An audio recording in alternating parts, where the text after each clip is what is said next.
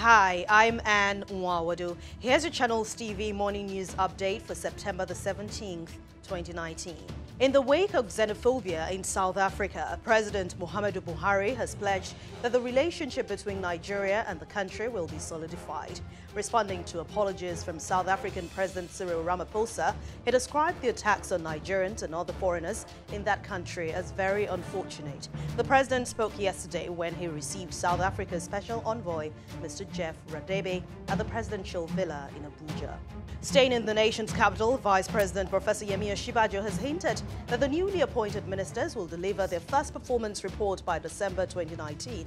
Speaking at the opening ceremony of the annual National Management Conference of the Nigerian Institute of Management, Professor Osinbajo explained that each of the ministers have specific mandates and action plans given to them by the president. Meanwhile, the Nigeria Hydrological Services Agency has asked Niger, Kwara, Kogi, Edo, Rivers and Bayelsa states to brace up for more flooding in this month of September.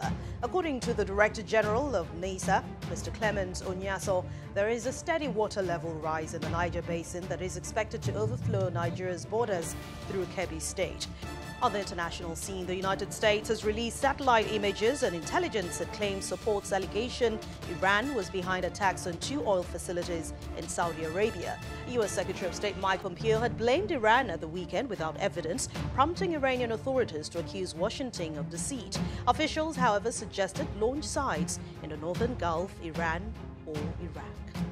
Adding sports national under-20 women's head coach Christopher Danjuma is expected to lead the Super Falcons in the second round of the African qualifiers for the Tokyo 2020 Olympic women's football tournament against Cote d'Ivoire. The team's head coach Thomas Dennerby has yet to report to camp over unresolved issues with the Nigeria Football Federation.